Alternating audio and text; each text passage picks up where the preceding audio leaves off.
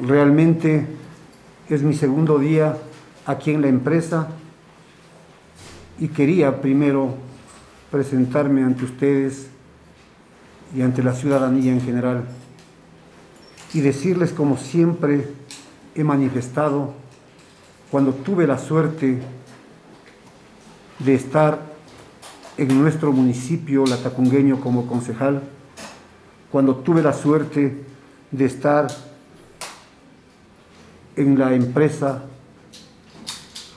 el EPCO S.A. con dos señores presidentes como su asistente, demostrar responsabilidad y trabajo frente a las necesidades que las instituciones requieren. Les comento que el día de ayer tuve los primeros contactos con los compañeros administrativos aquí en la empresa y debo decirles con toda franqueza que me siento honrado de estar aquí,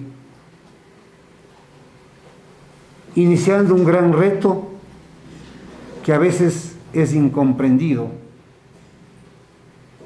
en las ciudades de nuestro país. Pero qué gratificante comenzar a conocer cómo está la empresa, cómo se encuentra su personal, cómo se encuentra sus estados financieros.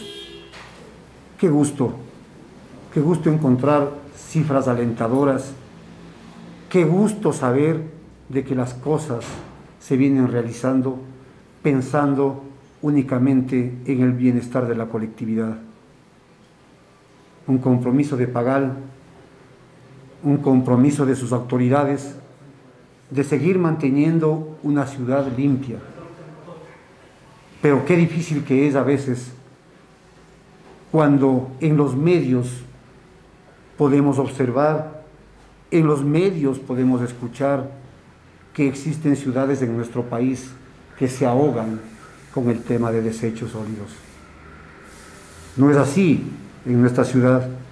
Y justamente en estos primeros días vamos a hacer un diagnóstico de todo lo que se ha venido haciendo durante la administración anterior y que obviamente desde hoy seguiremos reforzando ese trabajo y nos plantearemos nuevas metas para este año 2022. Bienvenidos, si alguien... Doctor, eh, felicitaciones, eh, licenciado, lo volvemos a ver como ex concejal. Eh, licenciado, aquí dentro del directorio de Pagar falta una persona, que sería esencial, que es el representante de participación ciudadana. ¿Se va a poner énfasis en aquello? Bien, en el tema que usted me plantea, señor periodista, justamente ayer había pedido una reunión y dentro de estas reuniones que voy a, tener en estos días, voy a revisar muchos temas y obviamente uno de esos temas será el que usted me manifiesta.